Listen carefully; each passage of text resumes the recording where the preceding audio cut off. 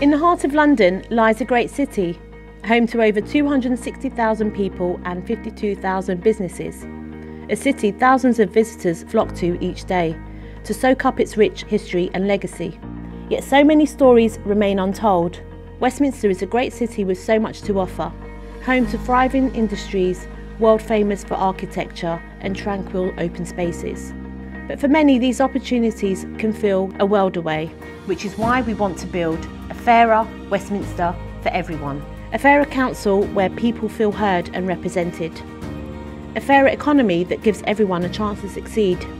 A fairer environment where futures are cleaner, brighter and secured. Fairer housing that provides better living conditions for all. Fairer communities that tackle inequalities and celebrates our diversity.